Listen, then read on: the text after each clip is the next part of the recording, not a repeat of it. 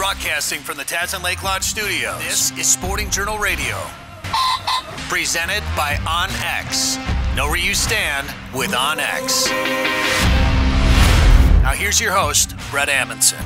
Cheers, everybody, and welcome to another show. I'm Brett Amundson. Thanks for tuning in on this station or watching this wherever you're watching it. That's Dan Amundson right over there.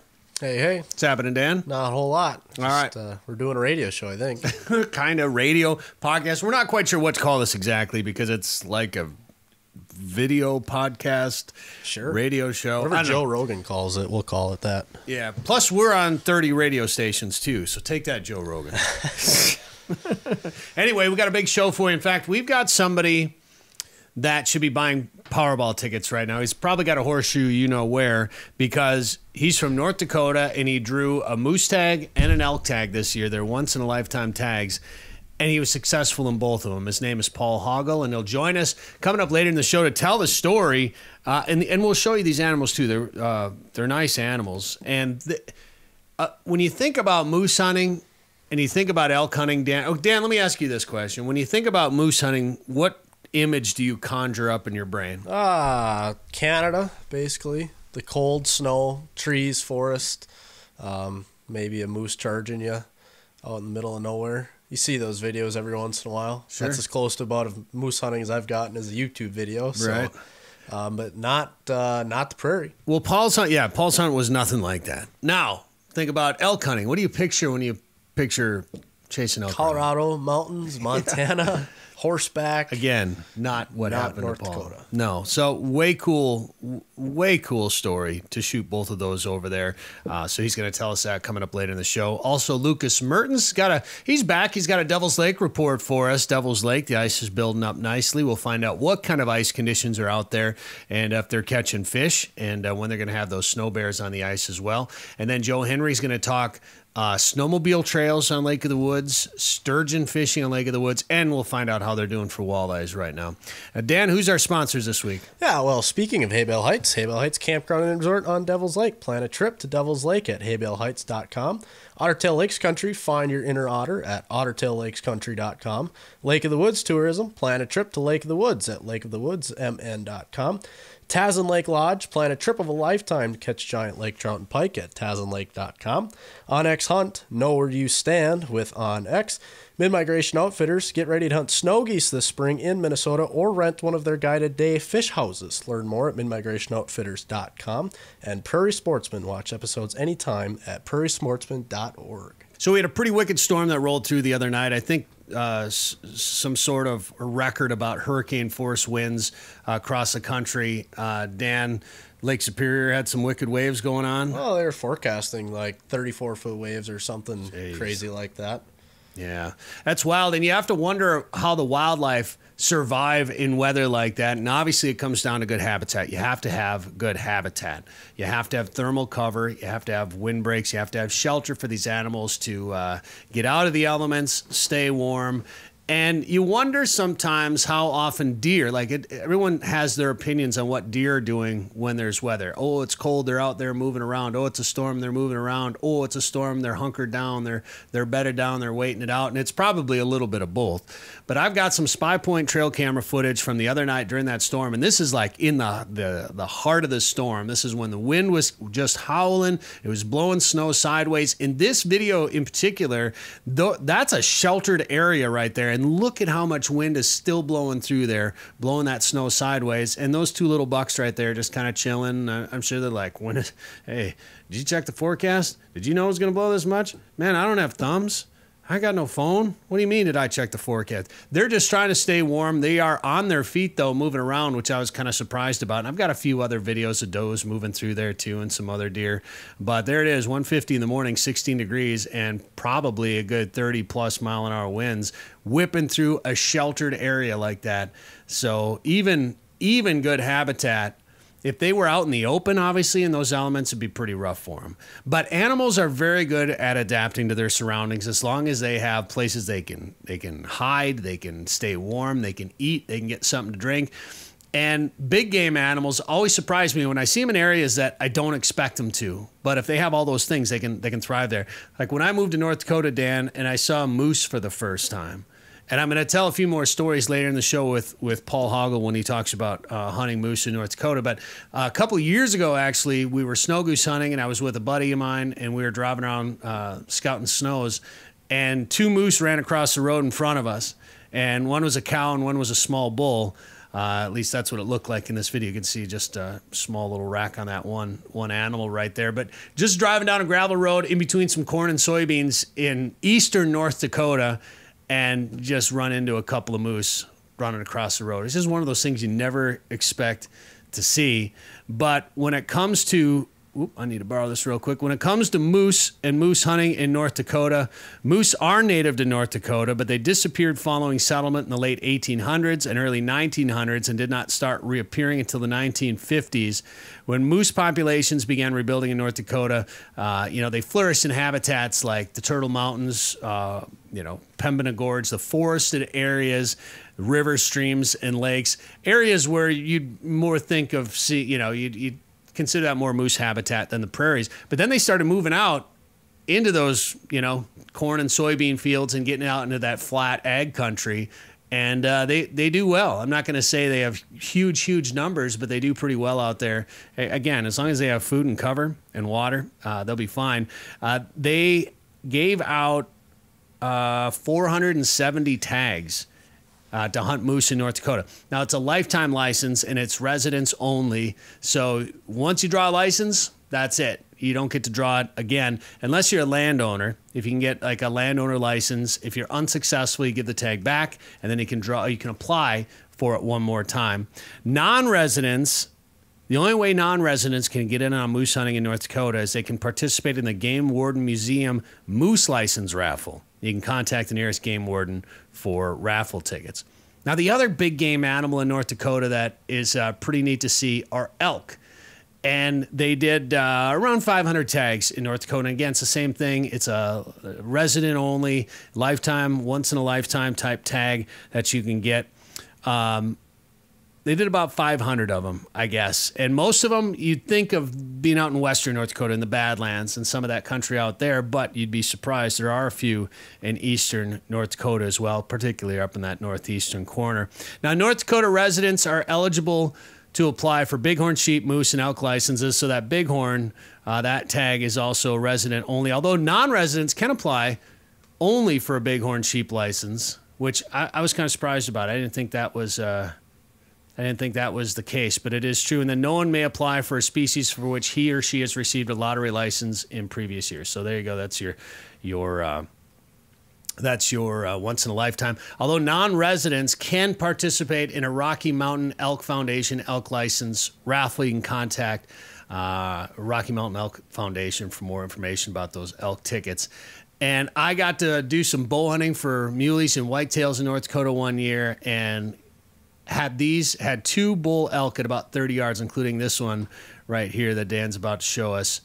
Uh, so I, I grabbed my camera and took that picture, and they stood on the road. They were on the road as we were going out to go deer hunting. It was me and Ben Bredigan. We're out there bow hunting one year, and these two bull elk standing on the road, man, in the sunrise. It was a way cool experience for us out there in western North Dakota. All right. Well, speaking of North Dakota, we're going to stay in North Dakota right now. We're going to go up to Devil's Lake to check in with Lucas Mertens for a Devil's Lake report from Haybale Heights Campground and Resort. Ice fishing season is here. This winter, plan a trip to Devil's Lake, North Dakota. Not only will you have the chance to catch their legendary perch, but this year, Haybale Heights has been catching big walleye after big walleye. And they're doing it from a mobile, comfortable snow bear. No matter how cold it is outside, you're warm and toasty on the inside. Learn more and book a trip today at haybaleheights.com. That's haybaleheights.com. Well, it's time for the transition of seasons. I know some people have been out there ice fishing already. I haven't yet. I, I'm still chasing pheasants, and I still got to shoot a deer yet. So, uh, but I'm starting to get my stuff ready because it, it won't be long uh, before we'll be out there hitting her pretty hard on the frozen water. And we're going to get a Devil's Lake fishing report right now. Lucas Mertens joins us from Haybale Heights Campground and Resort. Lucas, how you doing? Hey, I'm good, Brett. How are you? I'm I'm doing all right. I'm starting to I'm starting to get into ice mode, and I'm sure you are. You've probably been getting into ice mode for quite a while yet. Yeah, probably. Yeah, we've been kind of waiting for ice for about a month now. well, it's finally finally coming. Like historically, when do you guys? Because you you mainly just wait until you can put a snow bear out there, right? Yeah, we got some guys out, you know, walking out on the ice. Some of the guides are out testing the ice. Um, typically, we probably don't get our season kicked off real, you know, gung ho until about right after Christmas. Sure. Um, the way the ice is setting up this year, um, we're sitting on five to 11 inches of ice, just kind of depending on where you're at on, on Devil's Lake. Um, but we finally got some cold weather. Um, kind of had a storm blow through last night, and I think it's negative one right now. So hmm. we're we're we're really making some good ice. So um, I, I, was happy to see that the snow kind of went around us. You know, until at least we have a good foot base of ice. You know, you don't want to have a lot of snow on there. But no, we should be sitting real good. Um, the early reports, you know, we're finding some perch. Uh, the walleyes are hitting, so I'm looking forward to a to a good year. How did that ice build for you. You know, especially with that big that last big storm that rolled through with the the heavy winds. I don't. It doesn't sound like you guys got hit as hard as uh, some of the people south of you did, and, and maybe a little bit further east. But uh, I was a little worried about the wind and and snow um, affecting ice the ice conditions just a little bit. But mm-hmm. I know we only blew open I think on our lake, we actually froze up kind of early. We don't have great ice yet, but we froze up early, and it, it only blew open once this year for us. Where last year, I think we blew blew open about three times. Um, okay. Did you guys start building and, and have been making good ice pretty much since you started? Yeah, I'd say we got uh, most of our ice came about two weeks ago.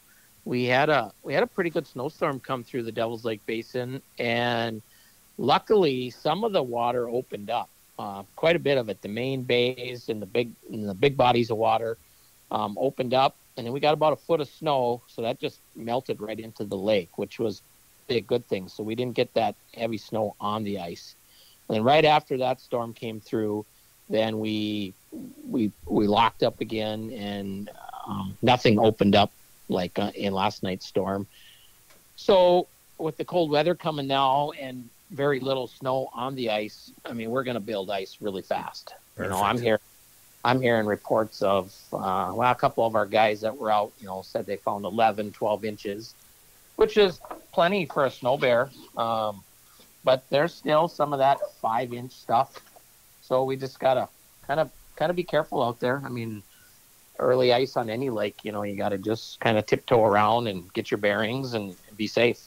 Yeah, it's not worth it I don't think, especially when you're running clients, you want to make sure that you're you're as safe as can be out there. I know I pheasant hunted the other day and uh, I broke through in the sloughs a couple of times, and then we were, uh, you know, a couple of days ago, I would have walked. There, we hunted around a couple of sloughs. I would have walked right across. In fact, I did walk. We did walk across a couple of sloughs pheasant hunting, and then we hunted after it warmed up a little bit here for a couple of days. I think we hunted on Wednesday, and there was the top of the ice was covered in water and it was probably still safe enough for me to walk across but i didn't right. i didn't want to i don't like getting that wet i guess yeah no it, that's that's right i mean um, I, I know of spots where we could take snow bears, but I don't think we're going to take anything out till right after Christmas there, just to be on the side with clients. Yeah.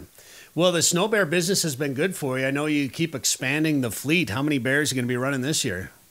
We should have six on the ice this year. So, yeah, it's been busy. We have a lot of um, just repeat clientele, which is great. And, you know, we're always looking to get some new people out. Um, we got some really nice packages with the lodging, the snow bear uh, guide package, and then you know, one thing that we do that a lot of places don't do is we'll clean your fish for you, mm. and that's kind of an added bonus. I know um, a lot of people sure appreciate that. They come in from a day of fishing, and our guys take care of the fish for them, and yeah, a lot of people like that. We got a nice fish cleaning shack there, and uh, of course those cabins are those cabins are really nice. So, um, is that the way? Do you have different packages? Can people stay? Um, you know, maybe if, they just drive up for the day, or is it all kind of stay and play type stuff? Or uh, well, most of it is, um, you know, the package deal. But we, I will rent. Uh, you know, we have cabins, that you know if you just want to come up and fish on your own, if we have some room, you know you can just rent the cabin on your own and, and go out and tackle Devil's Lake. But I would say like 95% of our client base is the guide package. Yeah, for sure. You know, and it, you know, you get out in that snow bear, and if it's minus 20 and the wind's blowing, it's pretty comfortable in there. You've been them before, you know Oh, all yeah. about it. So, Yeah, for sure. And I want to get up there this this winter too. Uh, I'd like to get up there and do some fishing. Yeah, it's it's funny. I mean, when we did it a couple of years ago, Lucas, I think it was 45 or 47 below wind chill or something like that. And yeah, we were sitting there like that in sweatshirts, you know, t-shirts and sweatshirts inside and uh, staying out of the elements. It was nice. They're comfortable. Yeah, it's um, it's a nice way to fish. It's kind of a run and gun type of style. You know, if we're not seeing anything on the Vexilars or the live scopes, then you know we're going to pick that bear up and we're going to move it and we're going to try to, you know, get on some active fish. And it's easy to move them. So I mean, it's it's not uncommon to move 10, 15 times a day if you need to. So Are you running live scopes up there? yeah, we got some live scopes in the bears, so that'll be pretty exciting. Um, should have them in most of them this year. It's a pretty big investment, but um, Yeah. wait, I don't know. It's kind of it's kind of a game changer. It's kind of like when Vexilars came out. It was a game changer, and this is another game changer. Oh, for sure, man. Uh, especially for a guide service, if you can bounce around and and uh, be able to see that much under the ice like that, that'll be nice. So Yeah. you're gonna you're gonna start after Christmas. You got uh, you got some openings right after Christmas for guys. Well, yeah, they can give me a call. We got a pretty full schedule, but we can always try to get uh, get someone in. I know we got a little bit of time in February left, and March. You know, that's a good time to get up when the weather um, warms up a little bit. But if anybody's looking to come up, um, they can call me direct at 701 351 3130. Uh, They can go to our Facebook page. I keep that uh, updated during the winter quite often, or they can go to our website, haybaleheights.com. haybaleheights.com. And Lewis, when I come up, if you're full, uh, just strap me to the top of the snow bear. I, I'll be all right up there. Well, we'll always find room for you. So, I got a nice warm suit. I'll be good to go. All right, Lu- Lucas Mertens, Haybale Heights Campground and Resort. Thanks for the time today on the show. hey, thanks for having me on. 852 million acres of public land, 147 million private properties, all in the palm of your hand. The number one hunting GPS app just got better. With hundreds of custom map layers, 3D and topographic maps, you can easily scout on the road or at home before you go. And now you can get important weather details, CWD detection, and even know what crops have been planted where. Get the most trusted hunting GPS app ever made. OnX. Know where you stand with OnX.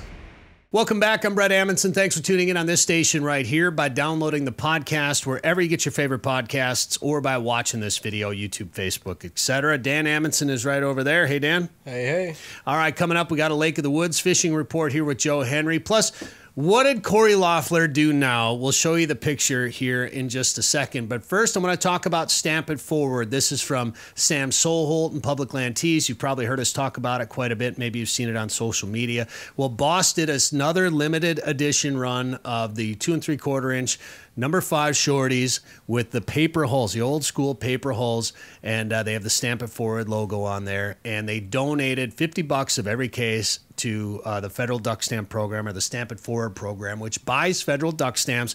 And I think it's what 98% of every dollar spent on uh, the federal duck stamp goes into habitat creation. It's hands down the best government program. When you look at government programs in our country and how much money is wasted, here's a great program where literally almost every cent that goes into that program goes back out to what the program is meant to do, and that's create habitat for ducks, which also benefits habitat for uh, white-tailed deer, uh, all kinds of songbirds and other critters, and of course pheasants, which I spend plenty of time chasing, including taking out the new boss, pay it, uh, stamp it forward, shotgun shells after roosters, just like this one right here.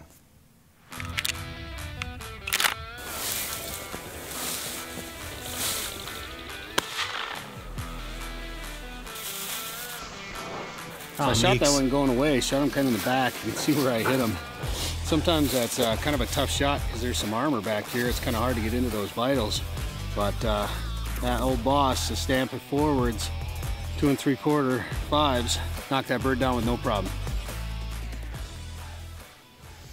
Nice job on the camera work there, Dan, as well too. That was hunting with my buddy Jason Markla with Bang Brewing, and uh, you can see, you know, sometimes when you hit those pheasants going away, it's not necessarily a hard shot, but you don't always get a good clean kill on them, and a lot of times you'll wound them or break a wing or something like that, and then your dog's got to chase them a little bit. But that that pheasant went nowhere after I pulled the trigger on it and uh, Mika brought it back, which is uh, always nice to see the old lady getting on some birds once again. And of course, I got in- introduced to boss from Corey Loeffler from the DRC Call Company, who's off on another venture. That guy, Dan, that guy has been gone way more than he's been home this this fall. Last year, I was telling Corey this uh, the other day. Last year, I hunted up with him. I don't know three, four times last fall in different places, and then went on a two week trip with him down to Texas and back and I talked to him before this fall. I was like, Corey, we should, you know, what do you want? Let's let's plan a trip this fall. He goes, dude, my fall is. I'm not. My wife is gonna divorce me by the end of fall because uh, he's gone. He was gone all the time, and she's not. She's great, but uh, he's on another trip right now. And I sent him a message. I said, "How's how's the trip going?" He goes, "Ah, pretty good. I built a fire in the blind. Shenanigans." That's all the message said. And I said, You built a fire in the blind. So that picture right there, that is uh, from the Quack Rack Instagram story um, slides. Anyway, so they they built a blind in a sandbar along a river, and it was cold. I think it was below zero. And uh, so Corey hollowed out a hole in the sandbar, built a fire, and then I don't know, built a chimney on it, built a hole, a warming. Uh, I don't know if that's he built a fire pit in the middle of a sandbar, uh, something only Corey Loeffler would probably do. So there's your shenanigans, and I think they shot some birds. So Corey's always got something, always got something entertaining up his sleeve, and he go on a trip with him. All right, coming up later in the show, we're going to talk to Paul Hagel. He uh, shot himself a moose and an elk this year in North Dakota. But right now, we're going to go up to Lake of the Woods to check in with Joe Henry from a Lake of the Woods fishing for a Lake of the Woods fishing report.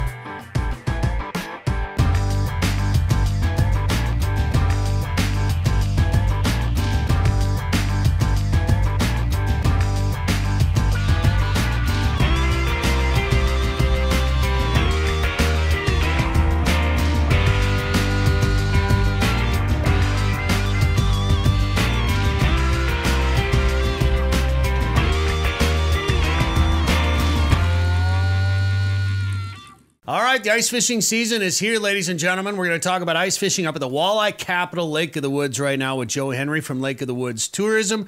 Joe, how's it going? Hello, I'm doing good, Brett. How are you?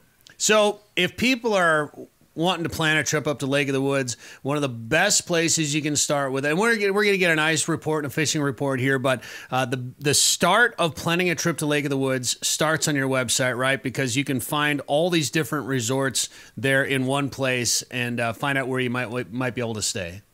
Well, I'll tell you something. So we have resorts, hotels sleeper fish house businesses, Airbnbs, VRBOs. We have everything on the Lake of the Woods MN.com website. In addition, we have a lot of really helpful information, including videos and such about about ice fishing, about you uh, working the one-two punch, how to get walleyes to eat, uh, what, what kind of lures to use in stained water. I mean, really, we have everything. And I'll tell you the other thing is this is the time of year where things can get pretty busy, especially on weekends. It's the holidays and everybody has off, so you know, if you want to make that last second trip up the Lake of the Woods, there's still hope. And one of the tools we have is called the Lodging Availability Finder. Basically, you put in your contact information, you put in um, what part of the lake you want to stay at. Do you want to stay up at the northwest angle, or do you want to stay in the south end slash you know Rainy River? And then you simply uh, um, put in special requests in there. Hey, I'd like a you know lodging for four nights and a fish house for three days or whatever. And then you hit submit, and that email is sent to all the different lodging facilities within the geographic area you selected. So rather than dialing for dollars, you can send that out in one blast. And in many cases, when they have openings and such, they can email you back. I got to tell you, well before I was tourism director, I'd, uh, I'd get an opportunity to run up to Lake of the Woods on a weekend, maybe spur of the moment.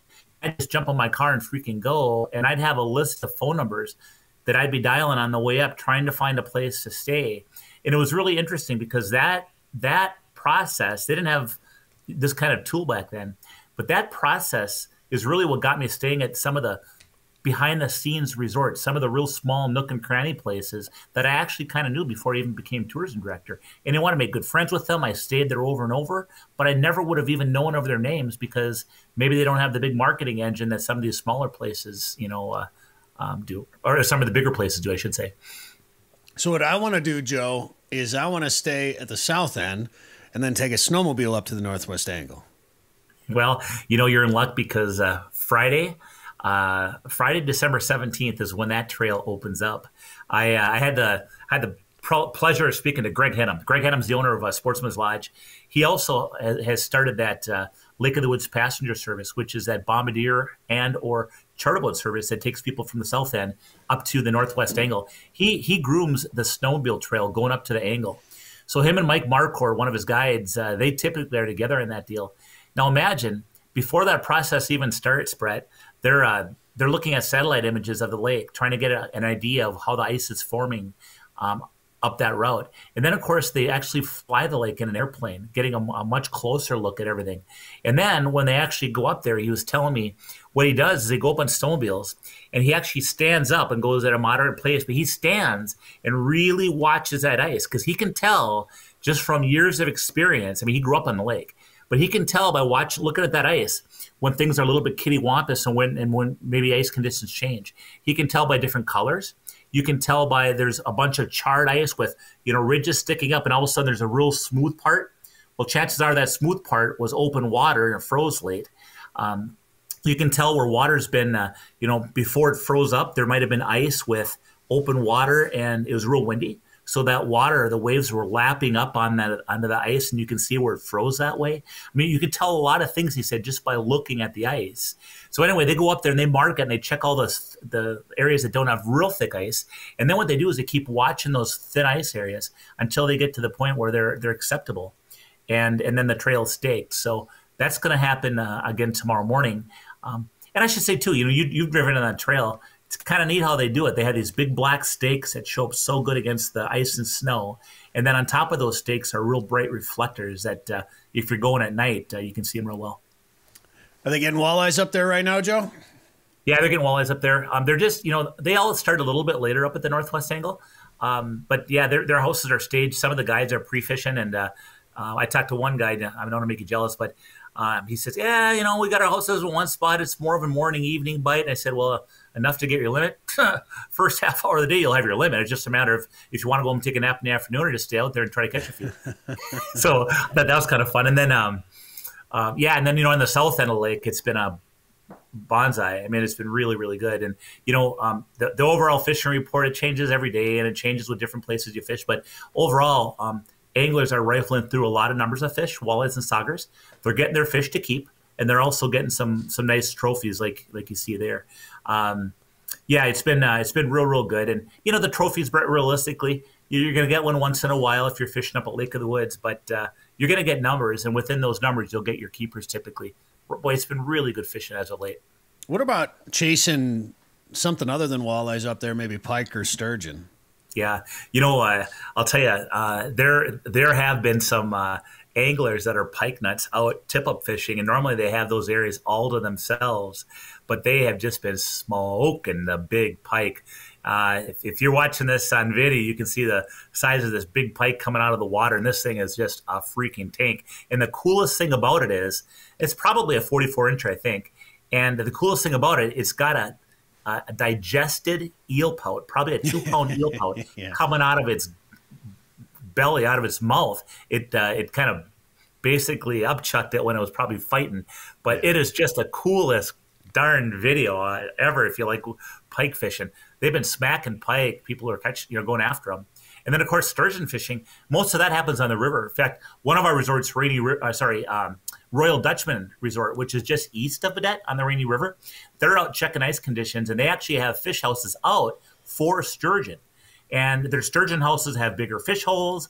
They're set up uh, so you're playing the current. You know, when you're when you're ice fishing in, in, in current, um, you you set your house up so that all the lines are going downstream. You don't want the lines crossing each other. So they got all that dialed in. They got they know where the safe areas are, and uh, they're doing a really nice job of getting people on sturgeon, which you know really most of our resorts don't do. Most of our resorts are dialed in on walleyes and saugers on the lake. These guys are they get walleyes and saugers on the river too, but they're getting dialed in on sturgeon, which boy, for something different, and they've been getting them. In fact, one of the uh, one of the videos they have up, somebody got a 66 incher. Uh, they got oh, one uh, just under 60, I think, Oof. Through the ice. And boy, when you when you watch that video, you can tell these guys are armed for sturgeon. They're using uh, uh, pretty good size open face reels with a heavier, beefier ice rod. And then when they're fighting this thing, I mean, they're hanging on to that little rod with all they have, and uh, that thing is just ripping line. And then finally, when they get it up, I think somebody grabbed. I think in one case they probably grabbed it under the under the gills and mouth and put them up in the ice. But I think in one other case they tailed it. You know, they grabbed that. The, the, the tail on a sturgeon's hard, so yeah. you can actually grab that tail and pull them out of the water. Um, really, some uh, some neat stuff. I've caught sturgeon through the ice before in Lake of the Woods. Um, it was accidental fishing for walleyes. You know, uh, one time I uh, it was just right at that prime time. You know, that, that golden hour at night, just sun was going down. I had a big mark coming to my uh, my Vexilar, and I jigged it, and boom, it hit. I set that hook, and I'm not kidding. My rod broke. So I, I, I handed my reel off "Give me line, give me line," and uh, and I fought this thing, and you know I didn't know it was a sturgeon probably for the first five minutes. I was hoping it was a big walleye, then I thought big pike, and then I'm like, okay, I think I know what this probably is. It took me an hour and a half to get it in, and oh uh, it was dark out by the time I got it up, and and we got it, and uh, so it was kind of fun. But I've gotten a couple of sturgeon through the ice, and you know it takes a little time, but it is fun. You better pull up all your lines when you get a sturgeon on. Let me yeah. just tell you. Well, I'm I'm all about catching walleyes, and I love catching big walleyes too. Um, and especially if you're going to Lake of the Woods, you're going to want to target walleyes a little bit, I'm sure. But being able to fight something that big, you know, uh, I mean, just the chance to fight, you know, and something that might take you an hour and a half. I mean, that's that's not something you can just do anywhere, and that's not the the type of experience you're going to get, you know, every day. So having the opportunity to catch a dinosaur like that would be pretty fun you know, it's it's arguably the biggest fish you'll catch in fresh water. You know, and uh, I'll tell you what, you know, you you've caught sturgeon. I know you have, and you know when you when you take a, a heavy rod and reel with heavy line, and you put the freaking beef to them, and you put pulling that thing off the bottom, and it won't budge. Yeah. You know you're in for a fight. Those I tell you, those sturgeon, they're not lackadaisical. They freaking fight if I, in open water they jump out of the water and things like that. Obvious ice fishing, they run like crazy. They'll rip that line off your reel like like there's no tomorrow. For sure. well, Joe. Yeah, there, there we are. I was, I was filming a TV show with Greg Jones in this one. I couldn't get that darn sturgeon in the boat. That's a third try, and I'm like, Greg, I need help. I'm not letting him go. And he came and double teamed him, and we got him in. But I'll tell you, you know, uh, it's like pulling in a dead body. Not that I know what that's like, but you know, I tell you what, it's, I hope not. They're, they're, they're not that easy to get in because they're big fish, you know. Jeez, yeah. Well, people want to get up there and uh, chase a big giant sturgeon or some big giant walleyes or some big giant pike uh, or do some snowmobiling and all the trails that you got up there. What should they do, Joe? Hey, check out our website. That is lakeofthewoodsmn.com. Looking for winter adventure? might as well pick a place with over 1,000 lakes. Ottertail County, Minnesota is in the middle of everywhere, offers a simpler pace, and has something for everyone. Find your inner otter at ottertaillakescountry.com.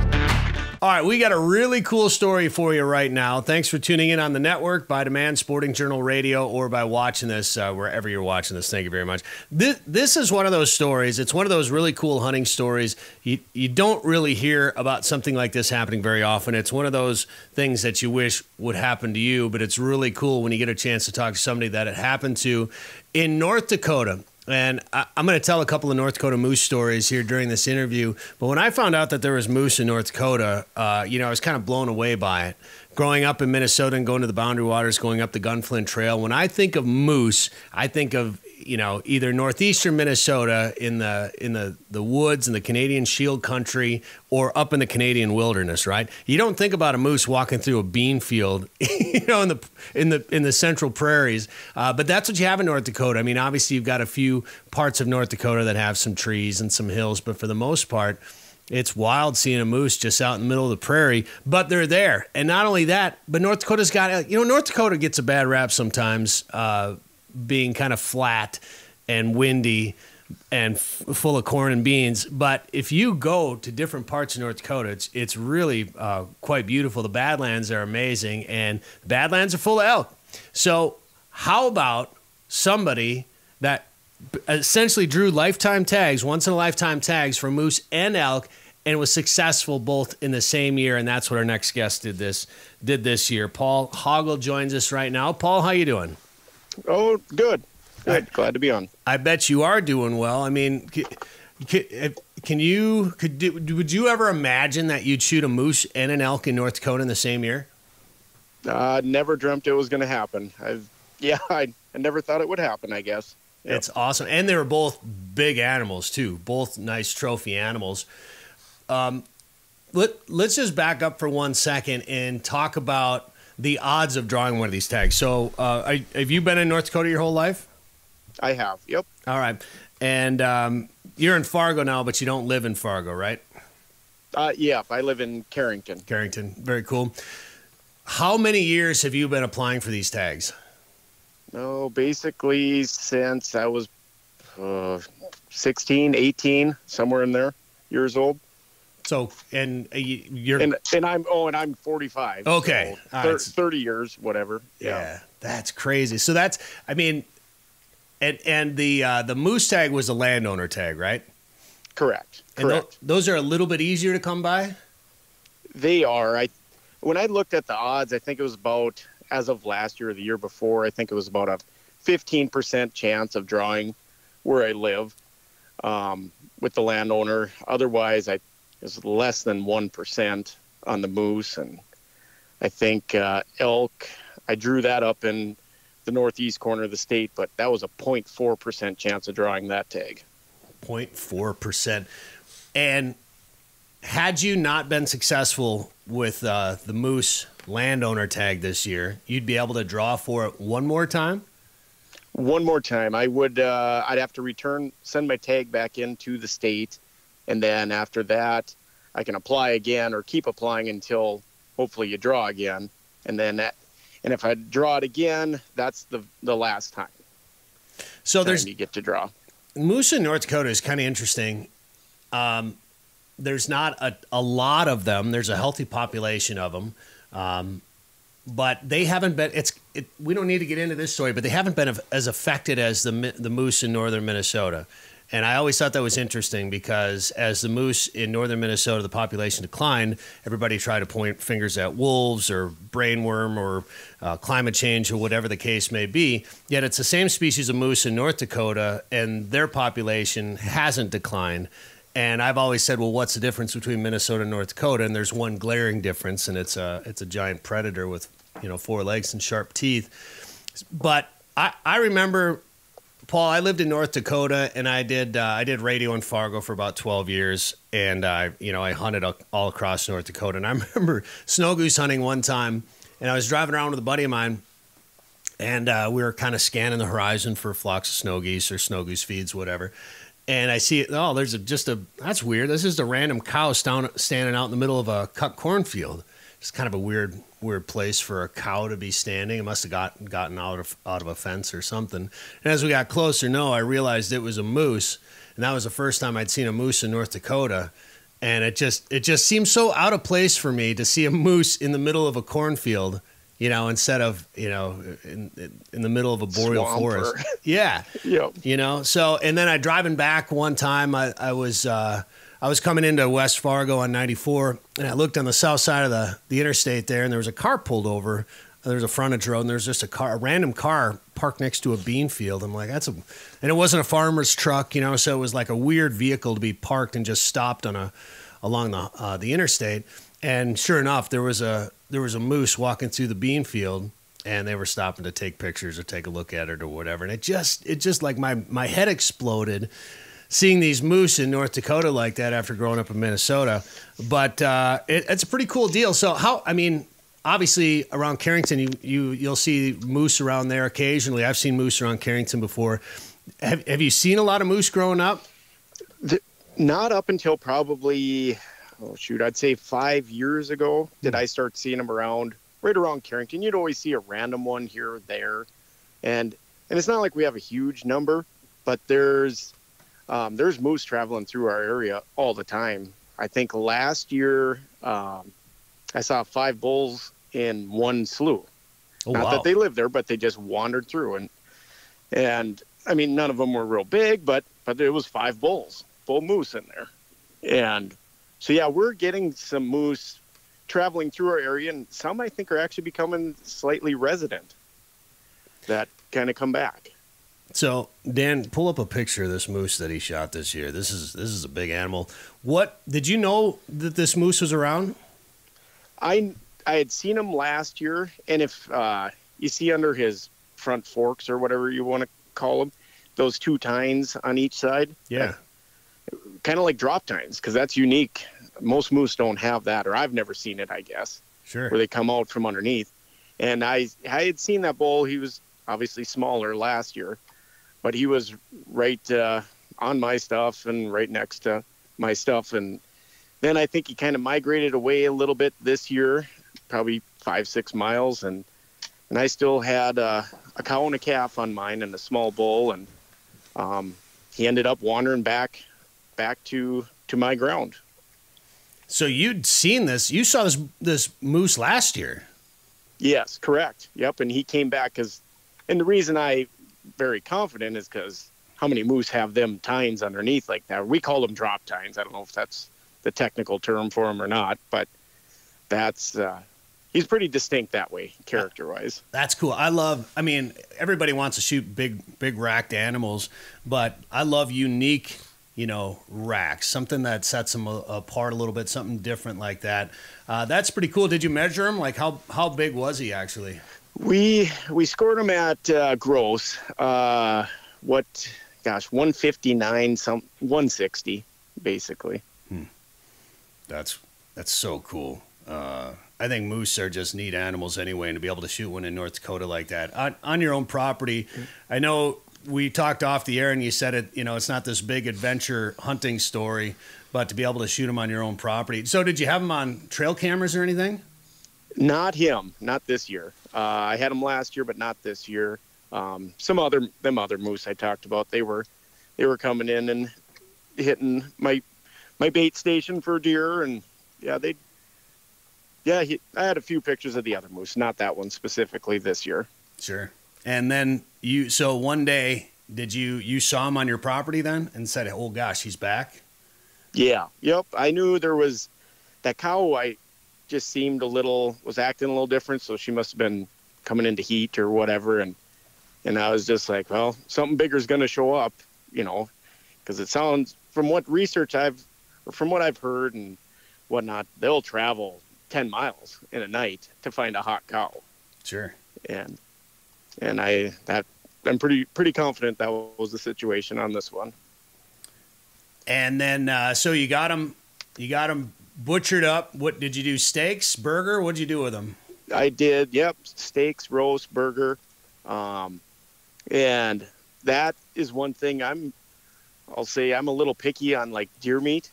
I I love deer meat, deer sausage, deer jerky, all that, but I'm not a real wild game guy um, just to eat a a roast out of a deer, say. Um, I will, but it's not my favorite. That moose is so close to beef; it's amazing. I was truly amazed at how good that is. Yeah, it, it, moose is delicious.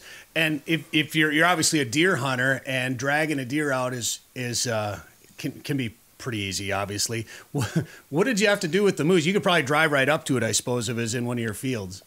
Yep, it was in my cornfield, and yeah, I was wasn't too hard. Just brought the skid steer out and picked it up and put it on a trailer. so that's why I say this hunt wasn't super exciting and had to quarter them up and pack them out 10 miles or anything, but but still exciting in its own right. Oh, absolutely, man! And it's a moose and all that. See, I get I get so excited about the meat now. I do. I, I eat a lot of deer. I like to eat it. Um, so wild game, we eat it every day here, and uh, I would. I obviously a, a big moose would be pretty special, and I'd probably put it up on the wall for sure. But I'd be I'd be so excited about that meat. Do you know about how much meat you got out of it? So I I had them. I took it into the locker plant in town, and they uh, it was 472 pounds of straight meat I got back, and that wasn't blended with anything. That was just straight oh, moose man. meat. That's awesome. All right, I'll be over for uh, moose burgers later. Absolutely. All right, um, Paul. Congratulations on the moose. I want to talk about the elk. Uh, if you're listening to this on the radio, we're going to take a quick break. We'll come back and talk elk uh, here with Paul Hagel, who shot a moose and an elk in North Dakota this year. But uh, we can keep. You want a break or don't matter, or should we just keep rolling? Just keep rolling. All right. So now we want to talk about your elk. How many years have you been applying for an elk license? Same same deal. Same scenario. Yep. I have always wanted to try to shoot a North Dakota elk, but uh, the well, and now that I live in Minnesota, I can't. Um, well, what is it? One of them, non-residents can only apply for a, a sheep tag, I, I, think, and there's only a couple of sheep tags, which I, I, didn't even think non-residents could apply for a sheep tag. But I was looking at some of the regs here on the ND Game and Fish website, and I haven't lived over in North Dakota now for about ten years, so things may have changed. But there's a there is a, a game warden raffle tag.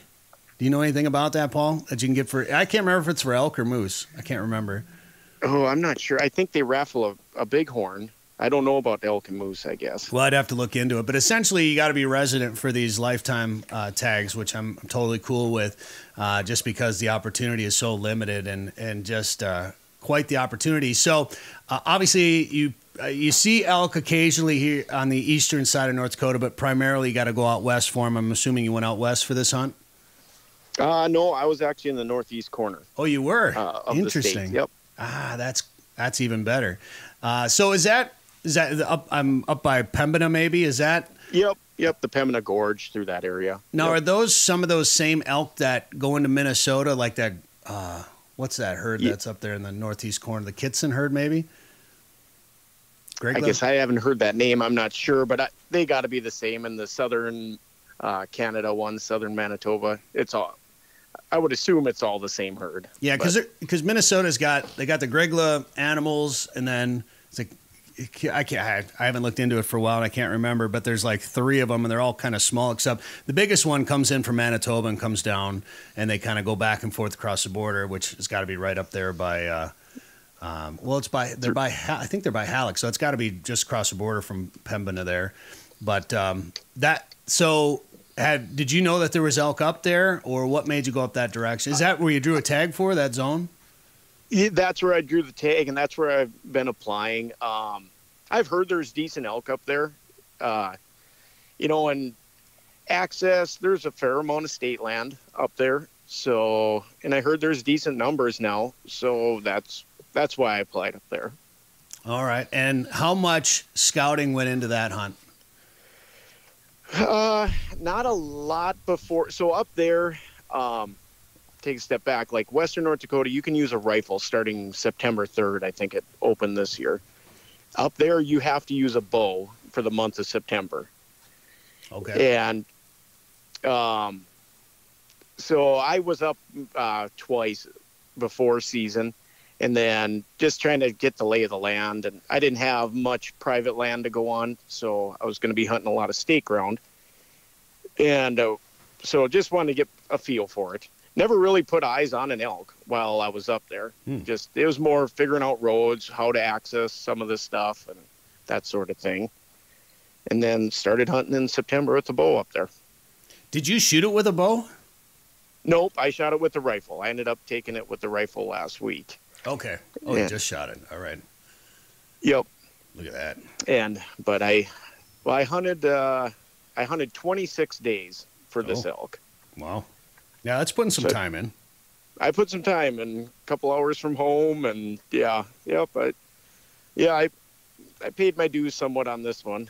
Uh, yeah, it it was awesome shooting that elk, you know, last week with the rifle. But the funnest part of the hunt was probably with the bow during the rut. That is an experience I will never forget.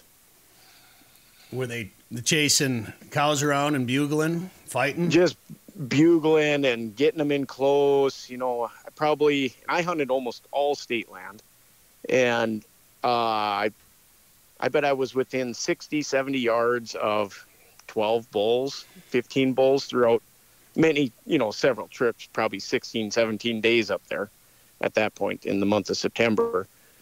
But, and they're just ripping off, bugling and all raking trees. And yeah, it was, it was intense. That's awesome. So, so tell me when you first laid eyes on this elk that you shot.